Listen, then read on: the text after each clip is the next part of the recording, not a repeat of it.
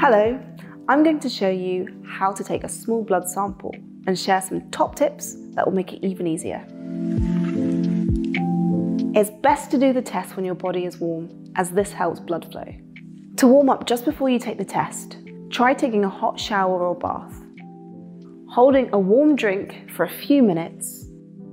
Do some physical exercise or running your chosen hand under warm water for a few minutes.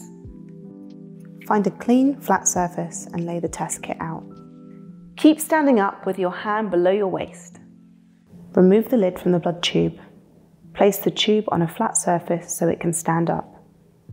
Twist and pull the blue tip off the lancet. You're going to take blood from one of these two fingers on your least favoured hand. Wash and dry your hands and clean your chosen finger with an alcohol wipe.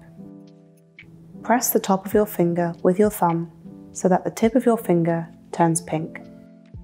With your thumb still in place, press the lancet firmly into the side of your fingertip where the skin is softer and push hard.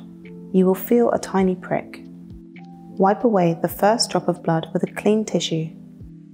Gently massage your finger from the knuckle to the tip and allow the drops of blood to fall into the tube. It's important that you fill the tube to the 600 line. This usually takes about 16 drops. If you struggle to get enough blood, you can use another lancet to repeat with another finger. Push the yellow cap firmly back onto the tube. Gently turn the tube upside down five times. Place the sample tube inside the specimen transport bag. Peel off the yellow strip. Fold and seal the bag. Your samples are already labelled with a unique code, so you do not need to write anything on them. Place the sealed bag and your lab card into the free post box addressed to our lab.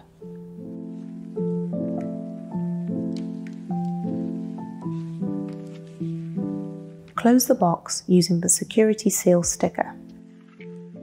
Note down your tracking ID, which starts with a hashtag and is found under the barcode on the address label of the lab return box. Post your sample in any Royal Mail postbox. To recap, to make the test easier, try these top tips. Relax, warm up, take a hot shower or bath just before.